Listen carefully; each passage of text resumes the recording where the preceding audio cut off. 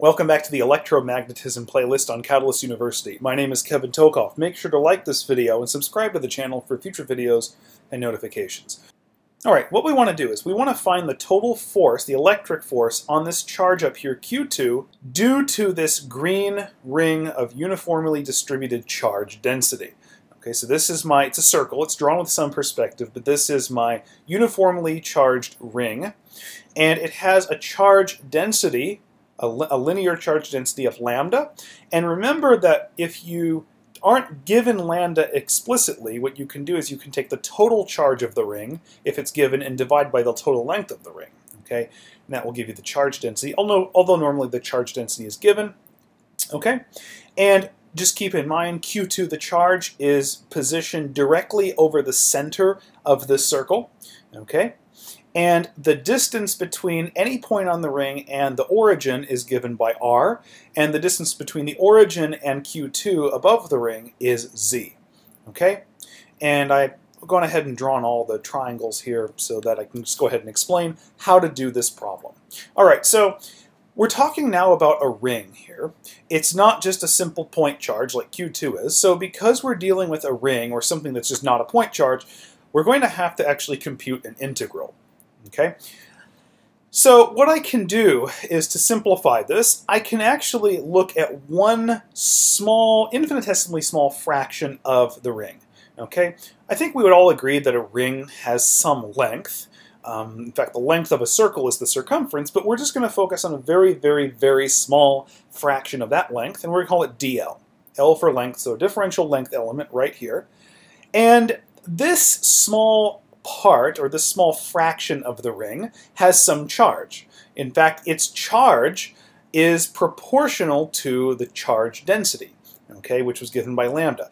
But since I'm only looking at a very, very infinitesimally small fraction of the ring's length, whatever charge is at that point between those two purple lines, I can treat that as a point charge. So even though you could sort of view this uh, ring as Q1, I'm only looking at one small fraction of it, and that's going to simplify the problem. So I'm looking at this part of Q1 right here, essentially. Okay? And in this problem, Q1 is going to be represented by the linear charge density lambda times dl. Okay? And the charge density, at least the linear charge density, is usually given in units of something like coulombs per meter, let's say. So charge per unit length. So if you multiply coulombs per meter times dl, which is in meters, you'll get back to units of coulombs, which are the units of uh, charge, or Q1. Okay? And sometimes just keep in mind that lambda can be in units of something like nanocoulombs per meter. Okay? Now, here's a differential expression for the force. And Coulomb's law, remember, basically says that the force is equal to Q1, which is my lambda dl. So Q1 times Q2 over 4 pi epsilon 0, and whenever you see 1 over 4 pi epsilon 0, that can also be replaced by k, Coulomb's constant. I've chosen to put that here for now. And then we have to divide or multiply by 1 over the distance between the Q1 and Q2. Now, this right here is what I'm talking about as Q1, right here between the purple lines, and here's Q2 up here. So I'm not talking about the z distance, that's not my r. This is the r in the problem, but that's not the distance we're talking about. We're talking about the distance between q2 and q1. So I can use Pythagorean theorem. If this is r and this is z, then the hypotenuse of this effective triangle would have to be the square root of r squared plus z squared. Now remember, Coulomb's law is one of the inverse square laws. So I can't just throw in this radical down here, I have to square it, which is why it doesn't have a power. It's just simply r squared plus z squared because whenever I square this square root, the radical goes away and it's just to the first power. Okay? So this is the total force, just, just the force. Okay? We have a problem though. This force element right here, dF, is looking at both the vertical and horizontal components of the force. So if I look at Q1 right here, this segment, and Q2, Q1 would tend to push Q2 in this direction where this red arrow is. And this, you can see, has a, a vertical component, and it would also have a horizontal component not shown. Okay, now here's the, here's the question. A lot of times when you're dealing with problems in physics like this, where you have a ring of charge or a disk of charge or something, you can actually exploit symmetry to make the problem a lot simpler. So let me ask you a question. So I just showed you, this is the vector, uh, the, the differential force vector of how Q1 would push Q2, assuming we're talking about this region right here. But what if I went directly across the ring over to this side? Well, I would go up here, and Q1, at least right here, would tend to push Q2 this direction, okay? And because Q2 is directly centered over the origin of the circle, the center, any horizontal component on one side of the ring is completely canceled by the horizontal component on the other side. And it's not just right here and right here. If you think about, let's say I had a force element right here. Well, the horizontal components would be canceled from the component produced from over on this side. Okay, So for every point on this ring, there's a part on, directly across the ring, across the origin, that will cancel its horizontal component of the force. So all I'm concerned with is the vertical component. And really, anytime you have these ring problems, this is something to look out for. You're almost always concerned with only one aspect of the force. Maybe it's the horizontal, maybe it's the vertical. In this case, it's the blue vertical part. Now, how would I determine uh, the expression for only the vertical part? Well, I have a triangle right here, okay? Here's my Q2. I can also draw a theoretical triangle up here. So here's my actual total force vector. This is the red one. The vertical component is blue. I can draw this imaginary purple line right here to create a similar triangle to this one right here.